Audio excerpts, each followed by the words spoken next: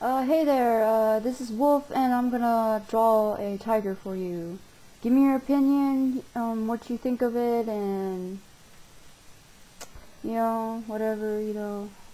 if you wanna say something, you know, whatever's in